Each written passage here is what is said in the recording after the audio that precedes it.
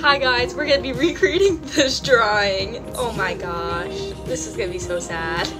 Ignore that I'm wearing like the same sweatshirt I always wear.